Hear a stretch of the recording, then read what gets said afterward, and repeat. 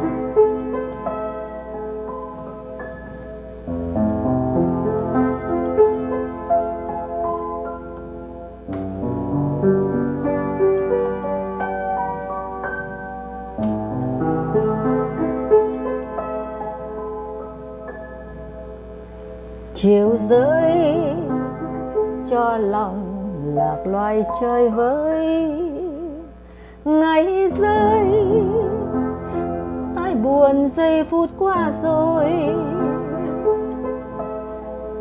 Thời gian luống phụ cho ai mãi đâu.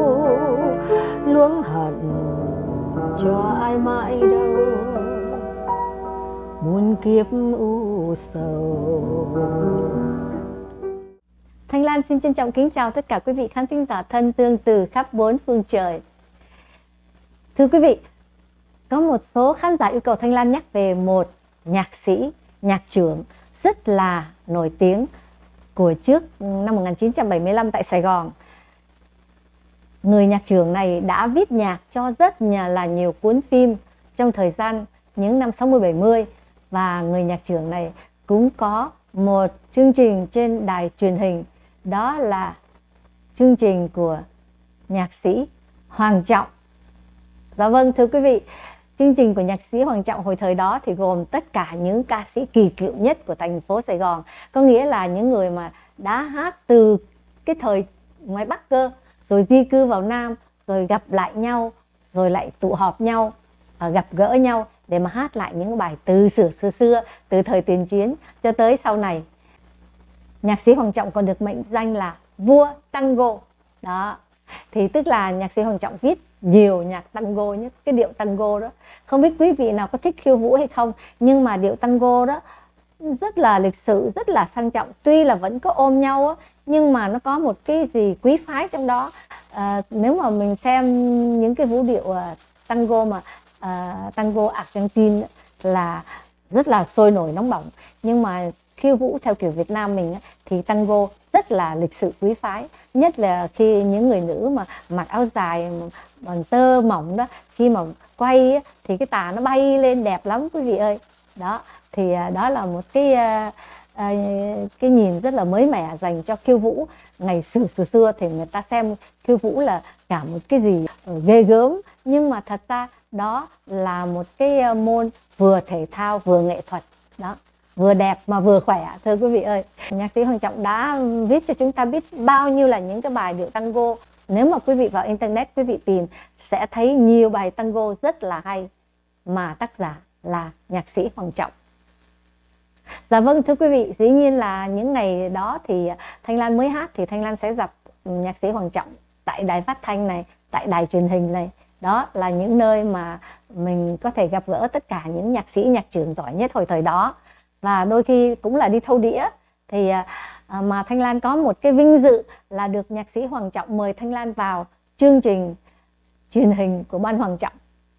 Hồi xưa thì cái vòng ban nghe nó rất là bình thường dễ chịu dễ thương dạ gần gũi.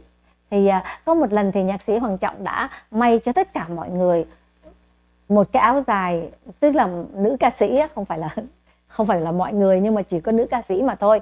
Những chiếc áo dài hoa giống nhau để đứng hát chung với nhau thật là dễ thương. Hồi thời đó thì phải nói rằng à, mình là một trong những ờ, ca sĩ trẻ nhất đám. Ờ, thanh lan thấy trẻ hơn thanh lan thì có con gái của nhạc sĩ hoàng trọng. Nếu không lầm thì tên là la la la la như là nốt la đó. Thì uh, em có khỏe không? Thanh Lan ờ, ờ, rất là vinh dự được ờ, đứng chung với các nữ ca sĩ kỳ cựu. Ví dụ như là cô Thái Thanh hay là ừ, Mộc Lan, Kim Tước, Châu Hà. Hồi thời đó là phải kêu bằng cô hết.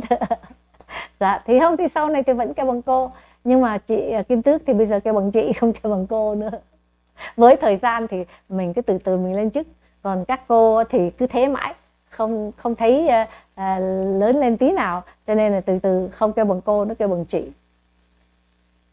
Dạ vâng thưa quý vị, đó là những kỷ niệm mà tại đài truyền hình số 9 cùng với ban nhạc của nhạc sĩ Hoàng Trọng.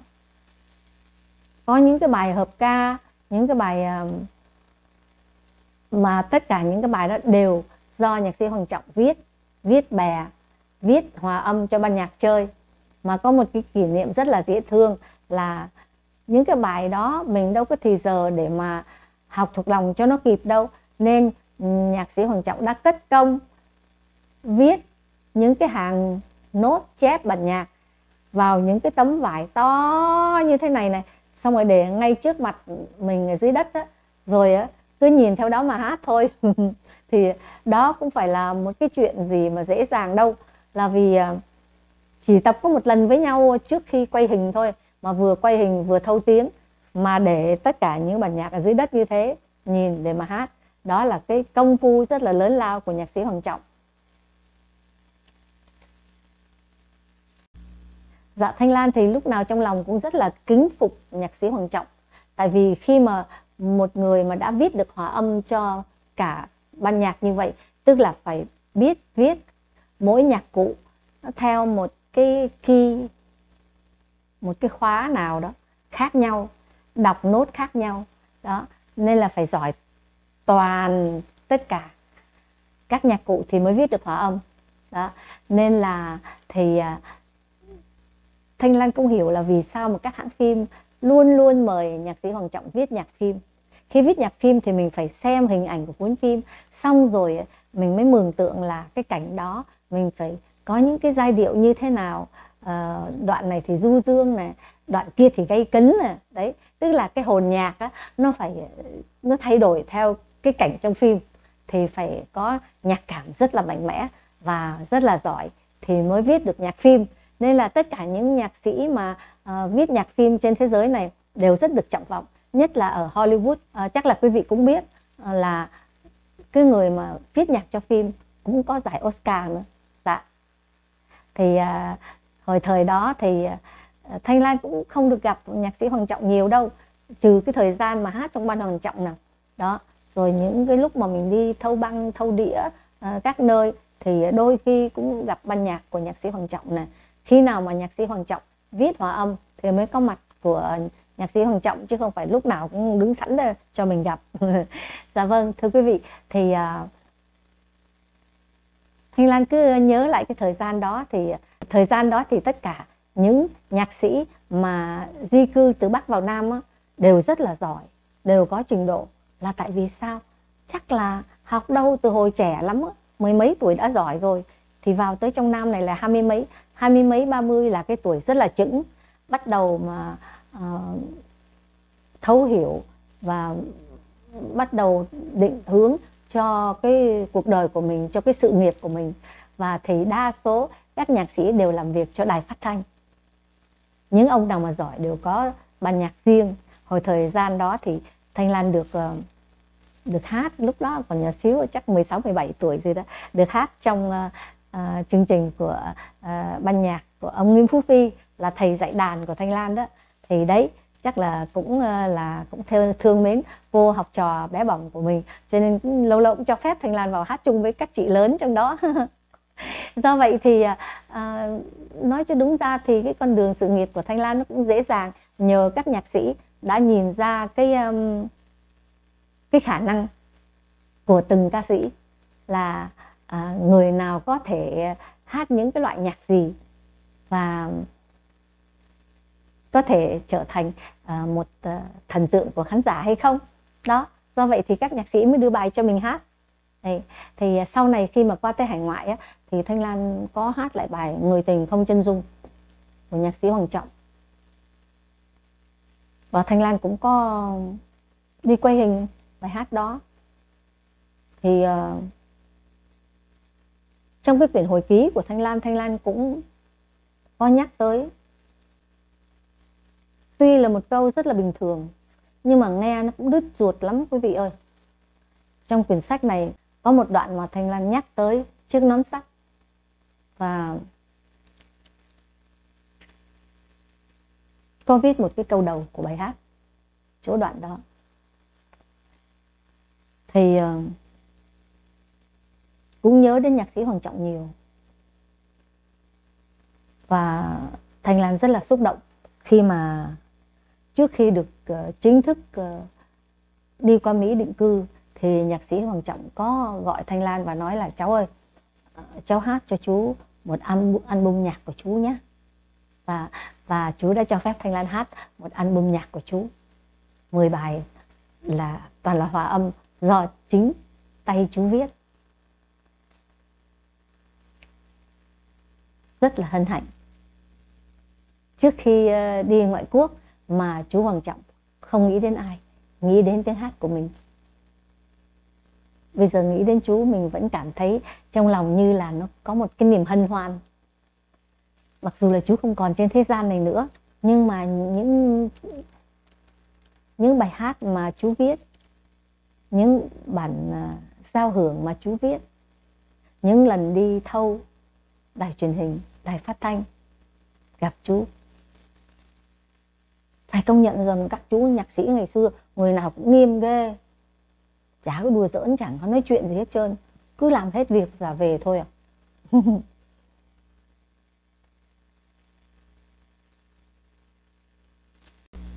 Dạ vâng thưa quý vị, bây giờ Thanh Lan sẽ hát một bài hát của nhạc sĩ Hoàng Trọng và Thanh Lan sẽ đố quý vị đó là bài hát gì nhé. Chiều nay sương gió lư khách về bên quán xưa Mơ màng nghe tiếng chuông chiều, Vương về bên quán tiêu điều. Vầng trăng hoen úa như lá vàng rơi cuối thu Lưng lờ soi mấy hàng cây, U sầu đang ngắm trời mây. Da da da da da da da da. Quý vị có nghe cái cái nhịp nhạc đó, nó chạy trong đầu không? Thì là đúng rồi đó. Thưa quý vị, bài dừng bước giang hồ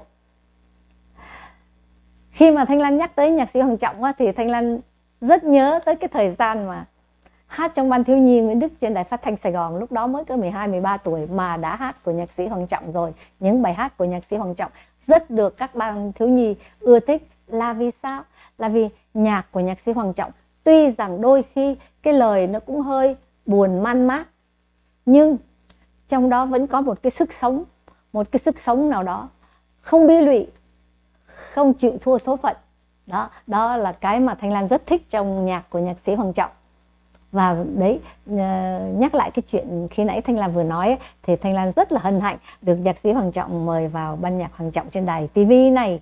Rồi thì trước khi uh, đi qua tới Mỹ thì nhạc sĩ Hoàng Trọng chọn Thanh Lan để hát một album nhạc của nhạc sĩ Hoàng Trọng. Do chính nhạc sĩ Hoàng Trọng viết hòa âm này cho nên nó cũng khác với những người khác. Khi mà những người khác viết hòa âm thì những cái bài hát của nhạc sĩ Hoàng Trọng nó cũng hơi khác đi chút xíu. Nhưng mà Thanh Lan thì, Thanh Lan thích cái original, cái hòa âm chính của nhạc sĩ Hoàng Trọng viết từ đời xưa.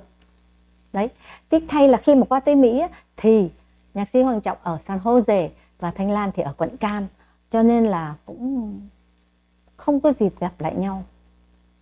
Và sau đó ít lâu thì nghe tin nhạc sĩ Hoàng Trọng qua đời. Phải nói rằng rất là nhiều nghệ sĩ, nhạc sĩ, ca sĩ đã xa rời chúng ta. Từ những cái ngày mà Thanh Lan mới có 12 13 tuổi đi hát đài phát thanh chơi cho vui vậy đó, cho tới khi bây giờ tự nhiên nó thành một cái sự nghiệp, một cái ờ, gì đó nó níu kéo thanh lan lại với quý vị mãi mãi mà không bao giờ rời xa được. Thì ờ, nghĩ lại nhầm trên đầu ngón tay thì bây giờ cũng đã rất nhiều người xa chúng ta. Thanh Lan có nhắc tới nhạc trưởng Nghiêm Phú Phi.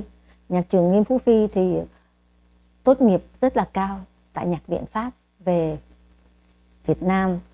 Và Thanh Lan là một trong những học trò của thầy từ đầu những năm 60 cơ. Thì à, những người giỏi như vậy mà xa rời chúng ta thì cũng hơi tiếc nhưng mà thanh lan tin rằng thế hệ sau đó, con cái, cháu chắc của những người nhạc trưởng, nhạc sĩ đó cũng sẽ đi theo con đường âm nhạc và sẽ lại truyền lại những cái hiểu biết của mình về âm nhạc cho những bé nhỏ khác. Và rồi thì, tức là cái cái khối óc và cái con tim của quý vị nhạc sĩ và nhạc trưởng đó vẫn còn đó, không mất đi đâu hết có một lần thì à, Thanh Lan có xin phép gia đình của nhạc sĩ Hoàng Trọng để cho Thanh Lan lại xin à, những cái bài hát mà trong album mà nhạc sĩ Hoàng Trọng đã thâu cho Thanh Lan bên Việt Nam đó. Và để à, giữ gìn, để làm gom lại thành một cái album tiếng hát Thanh Lan với nhạc của nhạc sĩ Hoàng Trọng. Và lần đó thì rất là không biết nói chữ gì cho đúng, xúc động không phải tại vì chữ xúc động này mình nói nhiều quá mình nói cho nhiều việc quá. Thì uh, lúc đó mình cảm thấy cái tâm hồn mình nó có một cái gì dịu ngọt khi mà cầm lại cái, à, à cái cái CD những cái bài hát của nhạc sĩ Hoàng Trọng đã thâu cho mình trước khi rời Việt Nam đi qua tới Mỹ nó có một cái gì đúng là dịu ngọt. Không biết quý vị có giống Thanh Lan không? Chứ mà khi nào mà mình được người nào tin tưởng mình, giao cho mình một cái trọng trách nào đó, thì mình cảm thấy mình rất là vinh dự, rất là tự tin và rất là hào hứng làm việc đó. Và hôm nay ngồi tại đây, thanh lan thì vẫn là quận cam. Thanh lan xin ờ, được tưởng nhớ đến nhạc sĩ hoàng trọng và vẫn nhớ mãi những cái ân tình những cái uh,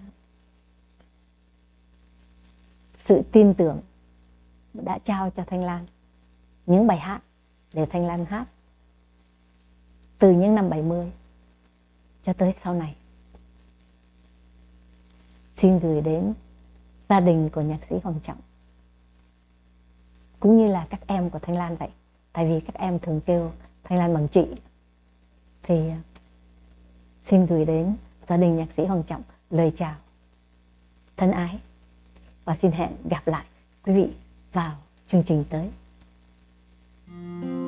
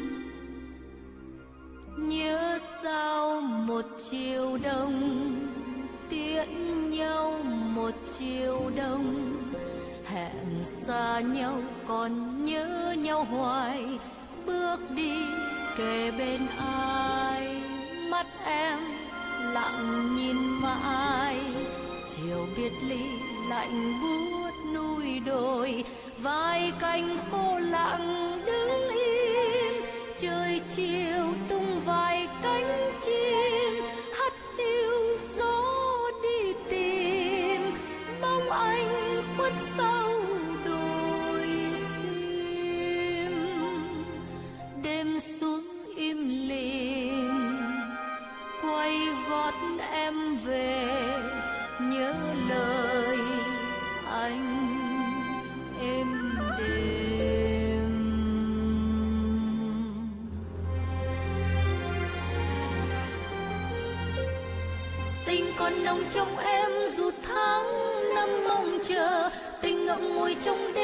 lạnh giá, môi duyên hờ, biết lòng anh còn mãi như ngày xưa.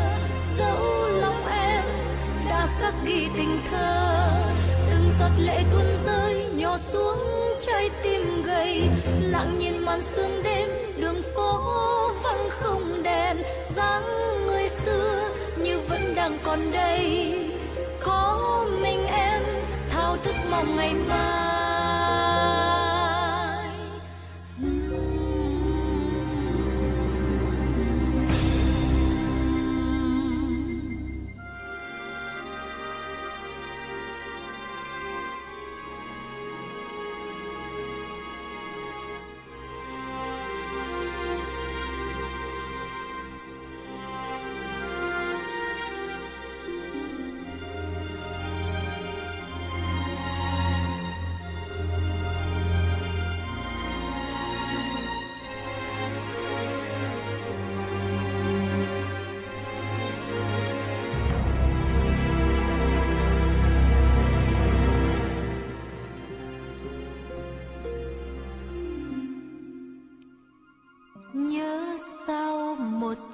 Đông tiễn nhau một chiều đông. Giờ xa nhau, còn nhớ nhau hoài, tháng năm đợi mong ai. Mắt em lặng nhìn mãi, chờ mong anh còn vẫn miệt mài. Rồi mùa xuân nhẹ lướt qua, mùa hè cho phượng thắm hoa.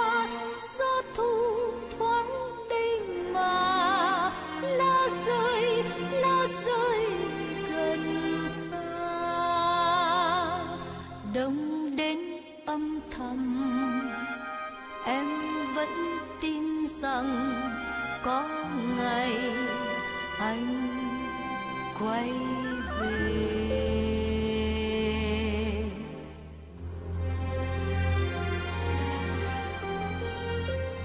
Tình còn nồng trong em dù tháng năm mong chờ. Tình ngậm ngùi trong đêm lạnh giá môi duyên hờ biết lòng anh còn mãi như ngày xưa. Tình thơ, từng giọt lệ tuôn rơi nhỏ xuống trái tim gầy. Lặng nhìn màn sương đêm, đường phố vắng không đèn. Dáng người xưa như vẫn đang còn đây.